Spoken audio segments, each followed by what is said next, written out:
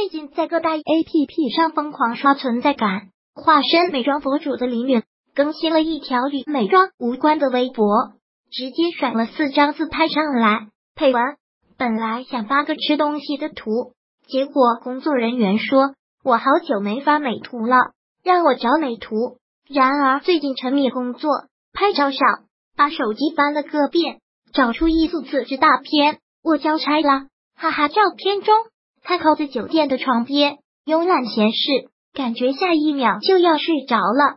忽而又振作起来，对着镜头大笑，露出弯弯的笑眼和整齐的白牙，然后又把身子撑起来，兜嘴委屈模样。咦，这张图的滤镜好像过于厚重了一点。